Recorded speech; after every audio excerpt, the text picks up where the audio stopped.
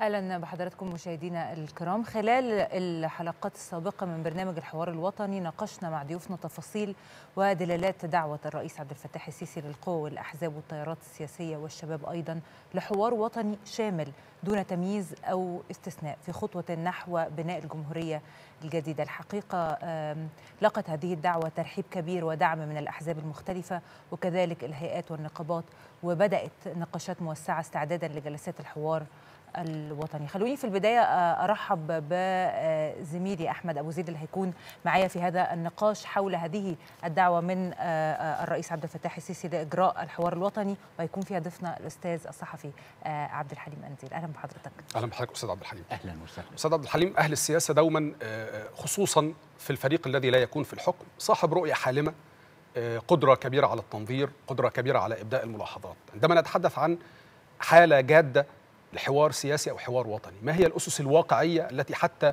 لو نحت بنا بعيدا نوعا ما عن الرؤية الحالمة ال ال الكبيرة، ما الأساس الجاد الواقعي الذي يمكن أن يقوم عليه هذا الحوار؟ يعني عموما بالنسبة السياسة بصفة عامة وظيفتها تحقيق ما تيسر من أحلام إلى أهداف في التاريخ. فأنا أفضل الحديث عن أهداف في التاريخ بدلا من الحديث المجرد المطلق في الأحلام. الحوار ضرورة بصفة عامة كل يوم. ومعنى ذلك أن تكون مسالك الحوار مفتوحة. مسالك الحوار مفتوحة أي رأى لابد المجتمع في رأيي المجتمع المصري أن يتنفس بصورة طبيعية وليس بصورة صناعية وبغير أوصياء. أن يتنفس لنفسه وبنفسه. لا يجب أن يظن امرؤ مهما كان موقعه أنه ينوب عن الناس أو أنه يرى أفضل من الناس. يقول رأيه فيؤثر. بقدر ما فيه من صحة وقبول. الحوار الوطني آه تع هذا التعبير استخدم في تاريخ مصر الحديث أكثر من مرة. لا نريد أن نغرق في التاريخ لكن حين نقترب هنجد أن في نصف الثاني من تسعينات القرن العشرين جرت إقامة محفل باسم الحوار الوطني وفي عام 2005 جرت إقامة محفل آخر باسم الحوار الوطني. كلاهما للأسف كان مضيعة للوقت والجهد ولم يسفر عن أي شيء بل الذي جرى فعليا حالة أعظم من التدهور قادتنا إلى ثورة الشعب المصري في 25 يناير 2011 ثم ثورة الشعب المصري في 30 يونيو 2013 وطبعا لو أن هذا ليس موضوعنا كل محاولة للفصل بين هذين التاريخين هي محاولة مضادة للدستور فيها معنى الخروج عن النظام السياسي. اثنين لولا 25 يناير ما كان 30 يونيو. وطبعا هناك محاولات للانتحال الصفة. محاولات من الإخوان لانتحال صفة 25 يناير ومحاولات من الفلول لانتحال صفة 30 يونيو. بلغة أخرى هناك محاولات من جماعات الإرهاب لانتحال صفة 25 يناير ومحاولات من جماعات الفساد لانتحال صفة 30 يونيو 2013 والفساد والإرهاب صنوان لا يفترقان يغذي بعضهما البعض وهما مرض نظل نعاني منه ومن آثاره. في السياق ده الحوار الوطني ضرورة ليس ضرورة بمعنى أنني أرى أو هذا يعني رأيي الشخصي أنه خلال الفترة الفائتة أكيد جرت إنجازات يراها. حتى الأعمى هذه الإنجازات فيه ورشة عمل هائلة جدا فيها ملايين الناس وامتصت قدر قدرا كبيرا من البطالة. هناك محاولة لزرع أمل في المستقبل. وطبعا هذه الإنجازات ليست كما يشاع فقط معنى عقاري. طبعا فيها المعنى العقاري المدن الجديدة ثورة الطرق فيها معنى زراعي فيها بعض المعنى الصناعي. من هذه الزاوية أنا أرى أن كل إنجاز وأنا أسلم بأنه جرى إنجاز لا يمكن أن, أن, أن تغفل ذلك. الخلاف حوالين ترتيب الأولويات أو غيره هذا أمر آخر. مما يدفع للتسليم في ظني بالمقولة التالية. كل إنجاز بينطوي على تحدي آخر لأنه بعد فترة هائلة من الركود والغياب عن التاريخ منذ ما بعد حرب أكتوبر 1973 واستبدال النظام بالحطام وخرجت مصر من سباق التاريخ عشان تستأنف العودة إلى سباق العصر من جديد. لابد أن نرى إن كل إنجاز بينطوي على تحديات مضافة. بمعنى أكثر وضوحا وهذا الكلام لا اقوله بمناسبة دعوة الرئيس مبادرة الرئيس فقط للحوار الوطني. قلت من قبل كثيرا وفي هنا وفي غير مكان.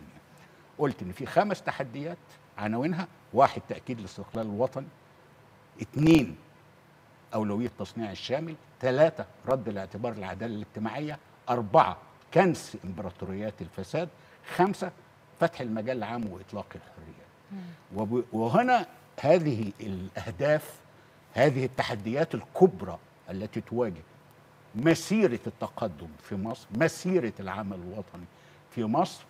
أنا لا أطرح هذه الأهداف بطريقة ميكانيكية واحد بعد واحد وإنما بطريقة متوازية.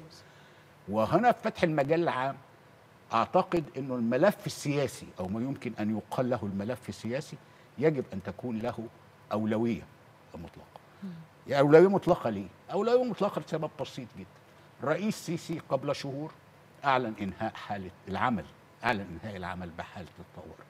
وطبعا في ذلك الوقت أنا أعتقد إن هذا فرض أسئلة تتعلق بمعادلة الأمن والحرية بمعنى لا أحد ينكر إن في ظاهرة إرهابية اجتاحت البلد وهذه الظاهرة الإرهابية كما قال الرئيس السيسي نفسه في اجتماع مع الإعلاميين قوم الإعلاميين قبل أسابيع في توشكا قال بوضوح أن هذه الظاهرة بدأت خمس سنوات قبل, قبل قبل 2011. 2011 ومن هنا عاوزين يعني أنا أسلم آه، بأنه الثورات عموما من طبعها الاضطراب يعقبها جو من الاضطراب الامني لكن ليس صحيحا أنها خلقت ظاهرة الارهاب هي كشفت الغطاء.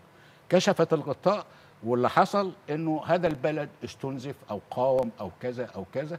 وما ولا يجب أن نخلي من بالنا أو من خيالنا دائما إنه إنه ما فيش حالة ارهاب هتحصل لا ممكن تحصل في أي وقت. أنا بتكلم عن ذروة أو شكلة الإرهاب الأساسية في سيناء. التي نمت وتطورت في ظل إخلاء سيناء من وجود الدولة المصرية نتيجة نزع السلاح المترتب على ما يسمى معاهدة السلام المصرية الاسرائيليه طيب أستاذ عبد الحليم في نقطة حضرتك اتكلمت فيها أو أرجعت يعني استندت للتاريخ في محافل ليها علاقة بحوار وطني سابق أو محفلين. حدود الاختلاف إيه إيه اللي حضرتك منتظر وتأمل إن هو يتحقق في هذه آه، الدعوة وإحنا في 2022 طبعا الكلام كتير وكل الناس بتتكلم في اتجاهات مختلفة. وطبعا بتتكلم من من زاوية هو مين المشرف على الحوار؟ الأكاديمية الوطنية للتدريب أو غيرها. الكلام آه، أيضا متعلق ب إيه حجم هذا المؤتمر الذي سي- سيحمل اسم الحوار الوطني؟ أنا تقديري أنه الاتساع فوق اللازم يخلق آه، يخلق مشكلة والتضييق فوق اللازم آه، يخلق مشكلة أخرى. الاتساع قد يحول الأمر إلى معنى مهرجاني كرنفال يعني ناس قعدت واتكلمت وحد طلع على المنصة وخلصنا. وهذا آخر ما يمكن أن نتطلع إليه لأنه طرف لا تح لا يحتمل حرج اللحظة. التضييق أكثر من اللازم أيضا قد ينطوي على استبعاد ومن هنا أنا متصور إنه جوهر هذا الحوار هو جدول أعماله. أنا فيما أسلفت في جدول أعمال محدد طرحته مشتق من آه، خط سير التاريخ أو الحدث المصري. لكن قد يميل البعض الآخر إلى طروح جدول اعمال من نوع استخدام كلمة الاصلاح ال- ال- أنا لا أميل إلى استخدامها لأنه في الإصلاح السياسي نحن نحتاج في واقع الأمر إلى إحياء السياسة لأنه لا خلاف على موات السياسة في مصر. في تقديري جاء إزاي له أسباب كثيرة جدا. أسباب منظورة تتعلق بالطوارئ والحالة العامة الخاصة بأولوية مواجهة الإرهاب هذا صحيح. لكن كمان لو فتحنا القوس قبل كده ب 30 سنة قبلها كانت حالة الطوارئ مفروضة طول الوقت. فده أثر. لكن الذي أثر على موات السياسة في مصر في تقديري وهذه ظاهرة مرعبة في تقدير في بلد كبير بهذا الحجم يك أن يكون منسوب السياسة فيه متدني إلى هذا الحد ال- قلب الظاهرة هو الفكرة التاليه المجتمع هو الذي يمد السياسة بماء الحياة. بمعنى في فرق بين سياسة التمنيات. أنا أريد أنا أريد أنا أريد والله أنا ماشي آه، آه، في في شارع تجاري عجبتني حاجة أو كذا. انما ال ال ال هذا حدث في مصر توازى مع كبوة التنمية. بمعنى البلد دخلت مرحلة تصنيع كبرى في الخمسينات والستينيات وكنا حتى بعد حرب أكتوبر 1973 راسا برأس في سباق العصر مع كوريا الجنوبية معدلات التنمية واختراق التكنولوجي وإلى آخره. بعد كده حصلت مفارقة المصرية الفرقه المصرية اللي هي إيه؟ بعد هزيمة 67 وهي هزيمة خاطفة أنا أنا لا أسميها نكسة أسمي الأشياء بأسمائها أثبت هذا البلد لأنه كان فيه حيوية هائلة مقدرة على التحدي وإعادة بناء الجيش وآخره. وصلنا لحرب 1973 وهي نصر عسكري بالتأكيد. لكنه لما نتأمله حين نتأمله في السياق التاريخي هنجد في مقابل الهزيمة الخاطفة في 67 بدا نصر 1973 نصرا مخطوفا. مخطوفا يعني إيه؟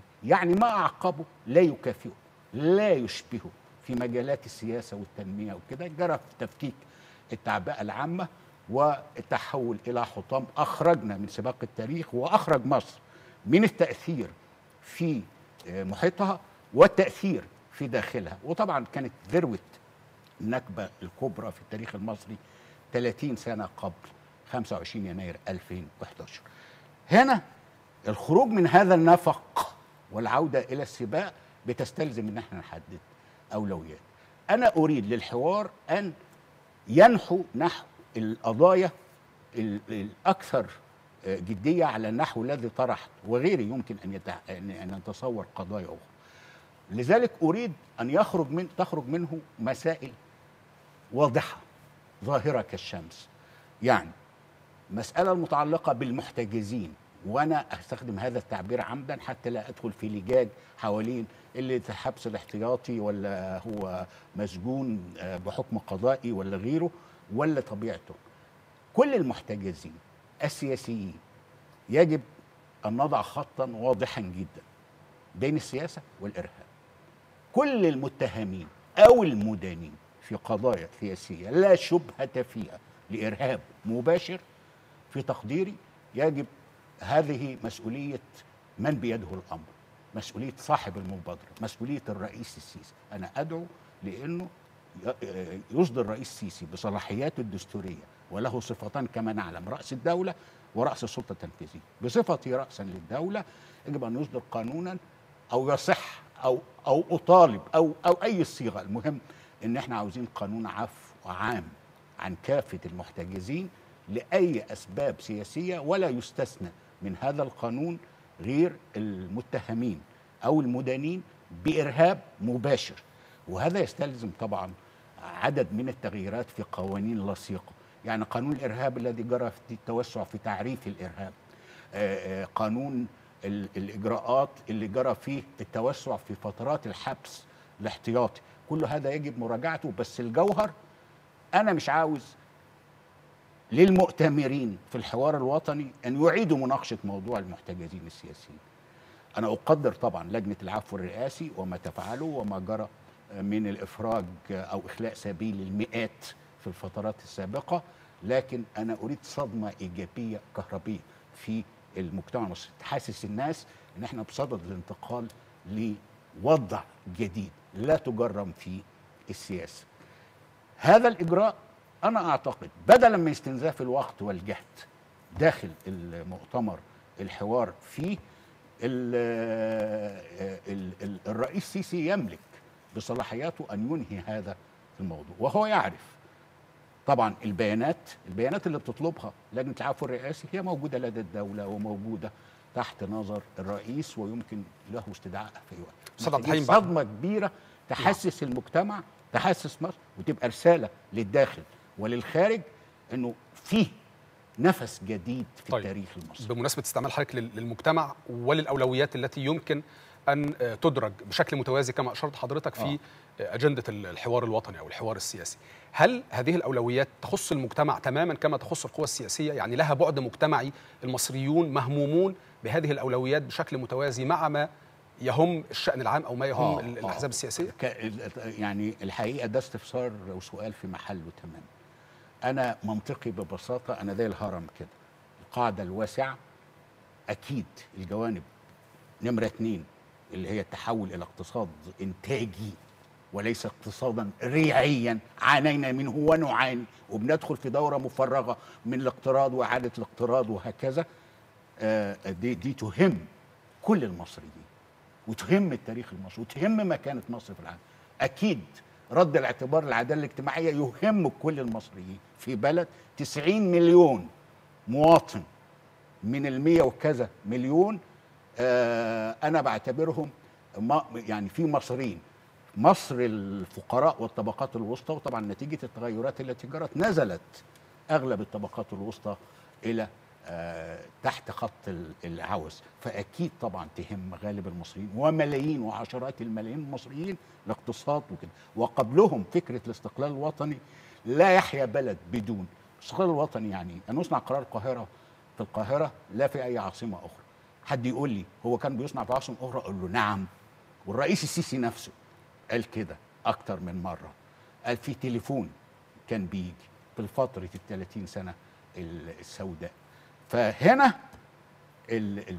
أما أتكلم عن الفساد أكيد يهم عشرات الملايين من الناس لأن الفساد في مصر تحول من انحراف سلوكي إلى ديانة. إنجاز التعبير أنا آسف لاستخدام هذا التعبير بس أردت أن أوضح عظم الأمر. يعني وصل الأمر لأنه سئل عن الفساد في دار الإفتاء قبل 2011 واتقال إنها إكرامية ولو أنت قاصد بقى تحقيق مصلحة مشروعة يمشي الحال. في كارثة. من توظيف الأموال إلى المستريحين إلى الفساد البيروقراطي إلى تدني كفاءة البيروقراطية وهو شكل من أشكال الفساد إلى اتخاذ قرارات والعوده عنها بما يضعف الثقة في الوضع الموجود. المجال العام أكيد يهم طائفتين في عملهم يهم السياسيين أو يعني من لهم اهتمام بالسياسة ويهم الإعلام عموما. الكلام ده فتح المجال العام كمان له أثر في في في في المجتمع. صحيح إنه يبدو نظريا أنه يهم فئة أضيق من الناس. طبعا حتى لما كلامي عن المحتجزين يهم يعني تقديري. طبعا لا توجد أرقام مدققة عن عدد المحتجزين لأسباب سياسية لكن بصفة عامة كده إلى أن يوفروا ارقاما مدققة آه، من بيد آه، يوفر من بيدهم الأمر ارقاما مدققة أنا متصور ان في أسر كل محتجز له أسرة في خمس أسر حولها على الأقل في حال وأنا مش بتكلم عن مش ب... مش بضرب رجما بالغيب. أنا تعرضت لهذا الكلام. وفي قضية ثبت إنها آه، يعني انتهت إلى لا شيء. فالفكرة هنا أنا عاوز أفكك الاحتقان الاحتقان في احتقان سياسي وفي احتقان اجتماعي. وبصورة واضحة أنا مستبعد على الأقل في هذه المرحلة وإلى مدى يعلمه الله جماعات الإرهاب إخوانا أو غير إخوان. هذا كلام واضح جدا. الإخوان وغير الإخوان لما نيجي بقى الموضوع الإخوان نبقى نناقش في وقت آخر إيه العمل وعنواني عندي الحل الذاتي لجماعة الإخوان وكل الجماعات الدينية. بعد ذلك كل المواطنين والمواطنين سواء في الحقوق والواجبات. لحد ما هم يحلوا ذاتيا أنا أعتقد إن الأمر الإخوان سيظل معلقا ومرفوضا سوى أيضا إن في دم ميراث دم ما زال ساخنا. فهنا فكرة إنه يهم كل الناس أنا لما أجي أقول إنه ال ال ال أتكلم عن الأحزاب أنا لو اتكلمت عن الأحزاب كفئة منفصلة عن عن عن عن, عن, عن المجموع عن المجتمع هقول ببساطة هو المجتمع ده ليه اللي حصل فيه في الفترة من 76 رغم إعلان ما يسمى التعدد الحزبي لحد 2011 هو إيه اللي جرى بالضبط؟ اللي جرى بالضبط إن المجتمع هاجر من المجتمع. هاجر من المجتمع يعني إيه حصل هجرتين هجرة في التاريخ بظاهرة العودة الدينية وهجرة في الجغرافيا بحثا عن الرزق. حصل إخلاء اجتماعي. ال- ال- المجتمع اللي بتاخد منه السياسة ماء الحياة يعني الرغبة في التطلع الأفضل. كان ذلك توازيا مع الخروج من التاريخ. تضخم ظاهرة اليمين الديني كان غطاء على خواء. فهنا ال- اللي حصل بعد 2011 كان متوقعا مني بصورة مطلقة. يعني في كتاب الأيام الأخيرة اللي صدر 2008 قلت ببساطة مبارك مشي هيحصل التالي. ثلاث سيناريوهات متداخلة.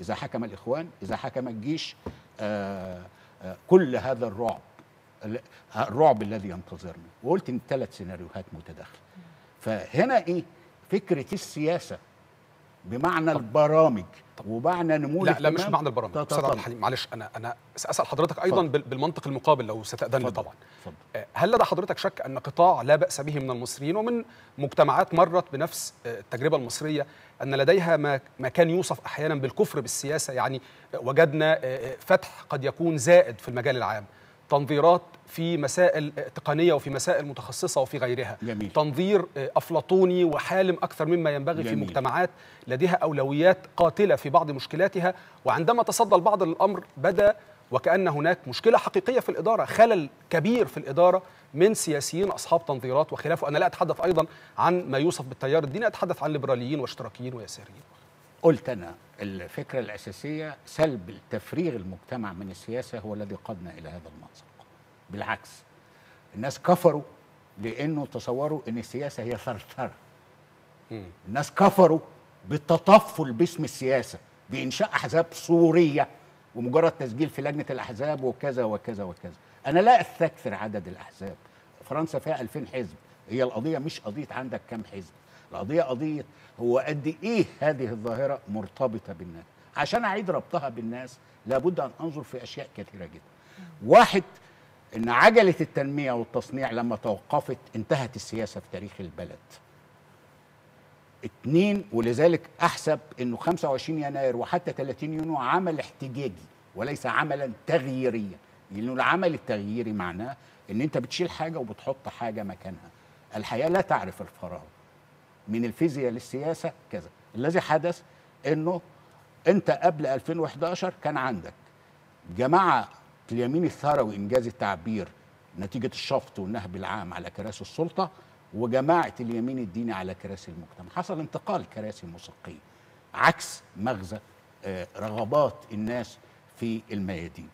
إن هنا هذه المفارقة لا يملأها إلا السياسة لأنه انت السياسة بمعنى ال- اللي هي المجتمع. المجتمع السياسي اللي هو الأحزاب النقابات الجمعيات كذا. حيوية هذه حيوية تبان من إيه؟ من نسبة الإقبال على التصويت. من أول النقابات لحد الانتخابات القاعديه من عدم تأجيل دورات الانتخابات. يعني إحنا في انتخابات المحليات اللي فيها عشرات الآلاف من الكراسي لم تجري انتخابات محليات حتى سوريا منذ عام 2008 من 15 سنة تقريبا. هكذا. أنا عشان أعيد هذا الربط لابد أن أبحث عن الخلل. الخلل عندي في خلل على مدى أطول اللي هو فكرة أما يستأنف المجتمع وهو يستأنف جزئيا الآن حركته للتنمية والتصنيع هيفرز طبقة وسطى يتسع نطاقها وبالتالي يحدث يحصل يحدث إرسال وتلقي. هذا ما نسميه السياسة. وعي. اتنين في جانب تاني إجرائي. إزاي تزيل العوائق امام ال ال النبتة الصغيرة لكي تنمو. هي لن تنمو فجأة. أنا يعني لن بإزالة كل القيود لن تنمو فجأة. طب. إزالة العوائق إنما تحتاج إزالة هل العوائق هل مثلا هي هتحتاج آه، اتفاق مشترك أو طبعاً. ملف بعينه بين مختلف الأحزاب اللي هتكون مشاركة في هذا الحوار آه. الجهات التيارات إن إحنا بنتكلم هنا عن ملف بعينه هيكون فيه اشتراك في وجهات النظر فيما يتعلق بهذا الموضوع وإيه ممكن يكون هذا الموضوع واحد آه، آه، أنا اتكلم آه، تحدثت عن موضوع المحتجزين السياسيين وقلت رأيي الابتعاد عن اللجان والابتعاد عن العمل بالقطعه الرئيس السيسي في أعمال كثيرة جدا بيؤمن بمنطق آه، وجوب الإنجاز في أقصر وقت وبأقل تكلفة آه، وبأكثر جودة. أنا قلت بهذا المنطق نفسه رأيي في موضوع المحتجزين لكي أزيله من على مائده الحوار. وكي أخلق بيئة للداخل والخارج تقول إن شيئا ما يحدث في مصر. جديد. طبعا في أشياء كثيرة تحدث في المجالات الأخرى. عشان بس ما أعلم. اتنين عشان أتكلم عن الأحزاب الرئيس السيسي مثلا اتكلم أكثر من مرة إن الأحزاب المتشابهة تنضم مع بعضها وتكون حزبا واحدا. هي فكرة تبدو لطيفة من الزاويه الأخلاقية لكن هذا لا يحدث في التاريخ. الذي يحدث إنه في محاولة كل دعوة حزبية أن تجد لها جمهورا في نظم انتخابية تساعد على ذلك ونظم انتخابية تعدم ذلك. النظم الانتخابية سواء القائمة المطلقة أو الفردي يعدم معنى تعدم معنى السياسة. النظام القوائم النسبية غير المشروطة وهنا البعض يقول لك إن القوائم النسبية قوائم أحزاب. لا مش قوائم أحزاب غير مشروطة يكونها أي جماعة من الناس. هي الوحيدة اللي هتكفل. إن هذا العدد من الأحزاب يختصر لأربعة أو خمسة في أربع أو خمس قوائم إن يبقى لها دعوة سياسية أو آراء آه، سياسية. هو عشان أنا أنا لفت تمييزها أنا لفت إلى الوسط أو اليمين أو اليسار. أنا لفت انتباهي إن حضرتك أتيت إلى الانتخابات وكأن الانتخابات هي السبب الانتخابات نتيجة أو على الأقل هي الثمره التي ستجنى من الأحزاب أو ستجنيها الأحزاب عبر أنشطتها السابقة على العملية الانتخابية. وأنشطتها السابقة. أحزاب بلا جمهور أحزاب بلا وجود على الأرض أنشطتها أحزاب بلا السابقة. إيديولوجية واضحة أحزاب بلا خطاب آه، يستطيع الشارع العادي أن يتقبله وهو الزبون الفعلي لا, للحزب. لا نستطيع أن نقول إنه أنهي مي- مين بالضبط الأحزاب التي بلا إيديولوجيا بلا جمهور بلا كذا آه، لما تعوم. ما حدش هتفترض إنه غير قادر على العوم إلا حين يوضع في حمام السباحة أو في البحر بمعنى أكثر وضوحا. أنا عشان أتكلم عن عمل حزبي. هل تستطيع أن تحدثني عن آخر مؤتمر جماهيري عقده أي حزب في هذا البلد؟ يلام الحزب ولا ألام أنا. لا لا من الحزب. لا القيود الموجودة أه؟ التي تمنع كذا وكذا وكذا. الحقوق الأساسية المنصوص عليها في الدستور حق التظاهر حق الإضراب حق الاعتصام حق كذا. ما هو منصوص عليه في الدستور بمنع الحبس في قضايا الرأي إلا في أوضاع معينة إلى آخره. أنا عاوز أطبق الدستور زي ما هو. الدس- الدساتير إحنا بنعاني في مصر من الدساتير بنعملها وننساها. أنا عشان كده قلت أكتر من مرة انه الفصوص أهم من النصوص التطبيق العملي. ومن هنا لما بتكلم عن النظام الانتخابي لا أتحدث عن شيء محايد مش كلها محصلة بعضها غير صحيح. وإلا ما تطورت النظم الانتخابية. مفيش حد في الدنيا بيشتغل بنظام القوائم المطلقه انقرضت من 40 سنة فاتوا.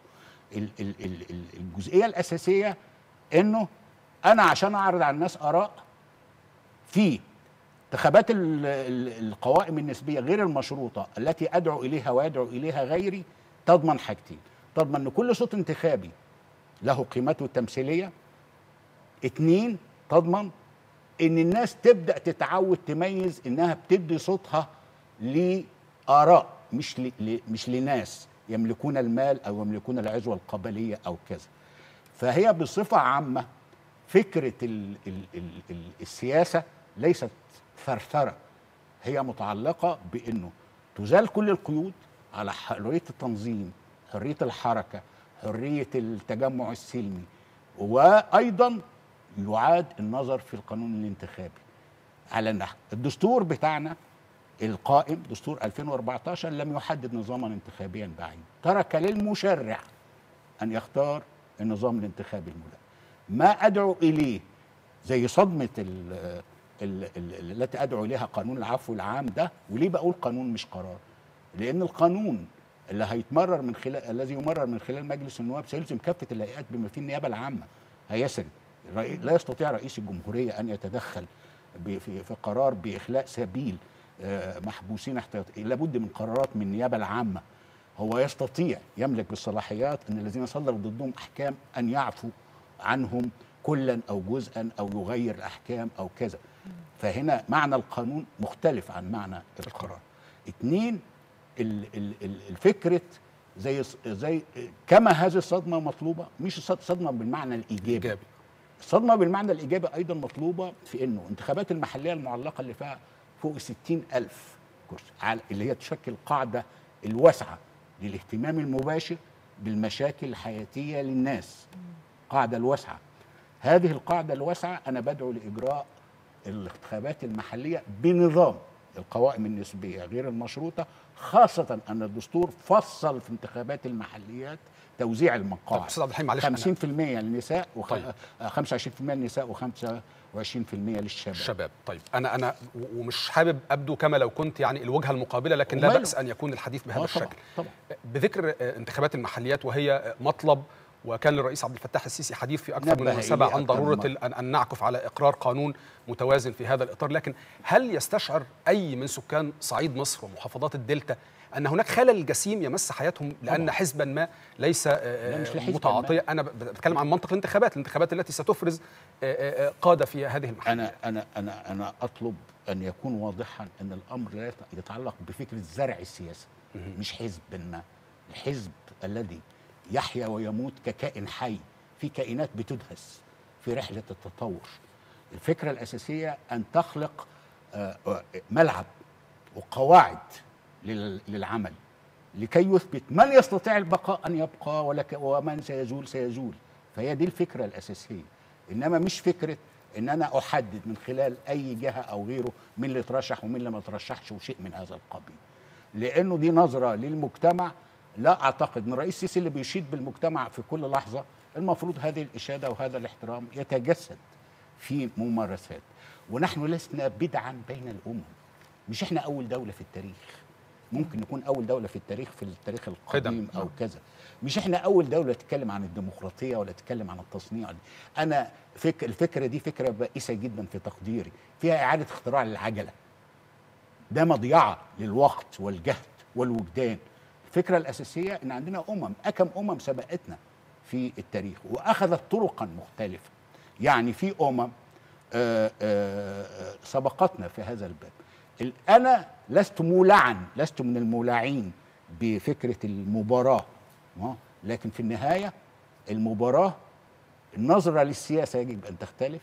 مش ثرثره ده عمل. والكلام اللي بنقوله مشاكل الناس مشاكل الناس نمسكها مش هنمسكها إلا بعمل. لو إحنا بنتكلم مثلا إن إحنا بنفاجئ بأشياء زي المستريحين المستريحين دول ما ظهروش بين يوم وليلة يعني.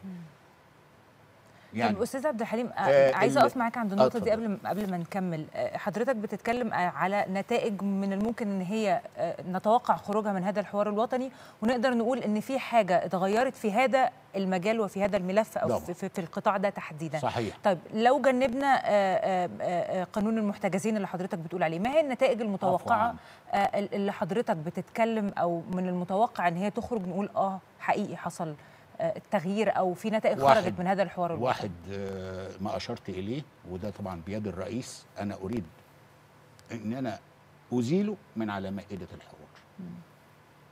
ولأنه أنا واقعي. في في صلاحيات واضحة للرئيس.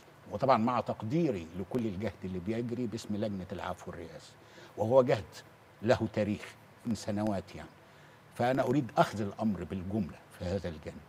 طبعا هذا بذاته سوف آه يعني يزرع لدى كل مهتم وأنا مش بقول إن كل مدعو للحوار آه مهتم? إنما هذا رأيي. اثنين فكرة آه إطلاق حريات الحركة والتنظيم وصولا للقانون الانتخابي على النحو الذي شرحته سيكون نقلة أخرى. ثلاثة إحنا هنعمل الحوار إزاي؟ بمعنى أنا تصوري الأمثل إن في انعقادات يعني الملف السياسي تختص به آه، لجنة أو جانب والملف الاقتصادي والملف الاجتماعي والملف كذا لكي نصل إلى نتائج. بمعنى أكثر وضوحا هو أنا لما أتكلم عن العدالة الاجتماعية أنا قصدي إيه؟ أنا بنطلق من واقع في تفاوت ثروات هائل. في مصر تحولت إلى مصرين أو أكثر أمصار الحقيقة نتيجة ميراث طويل جدا خاصة 30 سنة قبل 2011 سنوات الفساد الأعظم بامتياز.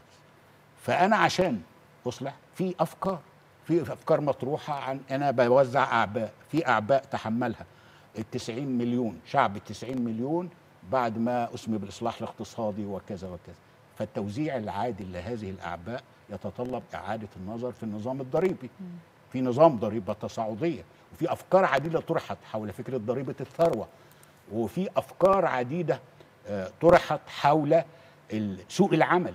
سوق العمل في مصر سوق عشوائي تماما زي سوق التجارة. سوق العمل أنا هجد مثلا. لما سيادتك تقولي أنا رفعت الحد الأدنى للأجور ل 2700 2400 2700 ده يهم الناس ولا ما يهمش الناس؟ ده في جوهر اهميه الناس طيب ما رأيكم ده ما فضلكم أن هذا الكلام لا ينطبق إلا على شريحة محدودة؟ من قوة العمل في مصر. هي العاملة في الجهاز الحكومي أو حتى فيما تبقى من شركات قطاع الأعمال. القطاع الأعمال. طيب ماذا عن العاملين في القطاع الخاص من أول البقالة لحد كذا؟ طبعا في أشياء آه، آه، آه، فيها مستويات أجور لكن الأغلبية ليست كذلك. إلى الآن آخر تصريح للسيدة وزيرة التخطيط إن إحنا لسه هنلزم القطاع الخاص بإنه يعمل حد الادنى للاجور 2400 مع العلم انه حتى ال 2400 وال 2700 هي نصف ما يكفل أن يبقى المرء عند خط ال- ال- ال- الفقر. فده مثلا وضع يتعلق بالعدالة. العدالة بمعنى إيه؟ في قانون يسري على الجميع. مفيش حاجة اسمها إن أنا أنقي. ومفيش حاجة اسمها إنه والله عشان الاستثمار وال وال والكذا والكذا والكذا. هذا وضع إحنا خبرناه. كلمة الاستثمار دي بتتردد على أسماعنا منذ بداية التسعينيات. عاوزين نحفز الاستثمار نعرض الاستثمار نطول الاستثمار والأخير شفنا. فإحنا محتاج أن نكون دولة بتمضي بقوانين دولة الرئيس السيسي حذر من فكرة شبه الدولة. الدولة كمان يعني قانون الدولة. قانون دولة ينطبق على الجميع. لما يصدر قانون بأن الحد الأدنى للأجور يرتفع ينطبق على كافة العاملين بالإلزام. التأمينات وإحنا عارفين كيف ال- ال- الوضع في في أغلب القطاع الخاص حتى لا أعمم. أيضا ال- الكلام عن آه، فكرة ال- الدعم مثلا وده ضمن التزامات الحماية الاجتماعية. كثير من الكلام بيقال أحيانا يعني بيجري تسيير نظرة آه، تنظر لأنه أنا عاوز أشيل عن كتف الحكومة وبعدين أرمي على كتف أي حد. هذا الكلام محتاج إعادة نظر. وإحنا اعيد النظر فيه فعلا بجريان الأمور. تذكرون الكلام عن رغيف العيش اللي ثار منذ فترة ثم بعد كده مع الأزمة الاقتصادية آه، توارى أنا قلت وجهة نظر تأخذ في عين الاعتبار الحمل الحكومي أو العبء الحكومي والناس أيضا. قلت يا إخوانا إحنا محتاجين قاعدة بيانات صحيحة. بمعنى أنتوا بتقولوا إنه خط الفقر تحته 29.3% هذا هو الرقم المعلن من من قبل الحكومة. يعني 30 مليون أو أكثر من 30 مليون. عندكم تحديد لل 30 مليون دول؟ يعني هم أحمد ومحمد وجورج وكذا وكذا وكذا هم فين؟ تقسيم جغرافي وضعه الجهاز المركزي للتعبئه العامه. والاحصاء في في ال- في البحث اللي حضرتك اشرت آه لا بيانات بياناتهم مسماة. نعم. بمعنى لو عندي بيانات مسماة وعندي ثقه بان دول تحت خط الفقر طبقا لكلام الجهاز المركزي للتعبئه والإحصاء إنه بيتكلم عن دخل 5000 جنيه في الشهر للخمس أفراد أنا آه لو عندي ده هقول والله رغيف العيش المدعوم اللي هو بشيلن. وبدل ما أقعد أقول بشيلن وهو حد لسه يعرف الشيلن لا في ناس ما بتشوفش الشيلن. فأنت بدل ما أقول هقول رغيف العيش ده المدعوم ده مجانا. بس لمين؟ مش ل الشريحة 72 دي. مش ل 72 مليون المسجلين على بطاقات التموين لل 30 أو الرقم.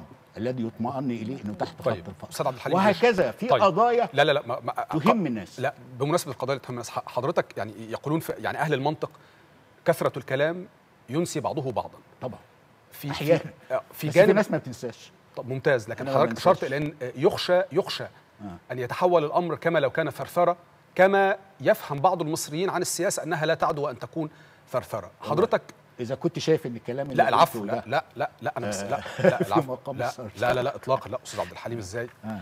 آه، حضرتك أشرت إلى التأمينات طبعا. إلى المحليات طبعا. إلى المجال العام طبعا. إلى الضرائب طبعا. إلى الاستثمار إلى مسائل وقضايا قد الأجور. تتفرع إلى الأجور إلى كل هذه القضايا. صحيح. هل كل الأحزاب التي قد تدعى أو قد ترغب في أن تنضم إلى هذا الحوار لديها أجندة محكمة حوالين هذه النقاط؟ ثم هل يمكن أن نخرج من حوار مجرد حوار وطني بمجموعة أولويات محددة ولا نغطي كل هذه النقاط فيتحول الأمر كما لو كان تجاوز لقدرات الدولة أصلاً؟ لدينا طريقان. إما إن إحنا أنا أؤكد فقط على إن أنا لم أقصد مطلقا وحضرتك لا تدرك ده يعني. لا. معلش أنا بهزر. أنا عارف أنا بقول إيه. آه ال ال ال الكلام آه، لدينا طريقان لأن نتحدث عن شيء مثمر. إما أن نخصص هذا الحوار للملف بذاته وليكن الملف السياسي على النحو الذي شرحت فنخرج منه بنتائج مسبوقة بفكره العفو العام. هيكون نتيجة محسوسة. عنوانها إحياء السياسة. ثم بعد ذلك نعقد مؤتمرا اقتصاديا يدعى إليه أهل آه، التخصص. ذوي الشأن أو مؤتمر اجتماعي أو كذا. الفكرة الأساسية في تقديري أنا أحتاج لزرع الثقة. بالكلام الناس بتسمع كلام في التلفزيونات تسمع كلام كله كلام وزي ما بتقول كده كثرة الكلام تميت القلب؟ آه فالفكرة أنا عاوز أقدم ألقي في روع الناس في وجدانهم وفي قلوبهم لا إحنا بنقصد إحنا جد إحنا نحن جادون في هذا التحول جادون جدا وهو ماشي فأنا أفضل أنا لا أعرف الذين ينظمون هذا الحوار ماذا سوف يفعلون لكن أنا أحذر من التحول للمعنى المهرجاني. معنى المهرجاني هيطلع أي حد بيقول أي حاجة وكذا وإحنا عاوزين نقول إنه المجتمع مش جيش المجتمع طبقات وفئات ومصالح بعضها متعارض والسياسة وظيفتها إنها تركز على التناقضات الثانوية فتلغيها أو تتجاوزها وتحدد التناقض الرئيسي للبلد ككل. هنا تكتسب السياسة معنى مختلفا عن الثرثرة. فأنا قدام صيغة من صيغتين. إما أنا أقول أنا هعقد الدورة الأولى لمؤتمر الحوار الوطني. مش هو مؤتمر الحوار الوطني في الملف السياسي فقط.